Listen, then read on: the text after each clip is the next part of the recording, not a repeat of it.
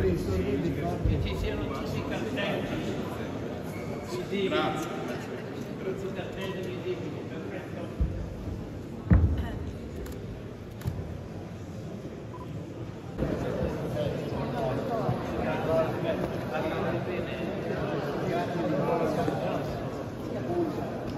nel caso Giuliano del Capo, il comune di Santa Marinella, il comune di Rieti. Siamo nella Casa Italiana dello Sport dove oggi abbiamo partecipato alla cerimonia promossa da Access Europe e nella quale è stata ufficialmente riconosciuta la candidatura di Taranto a città europea dello sport.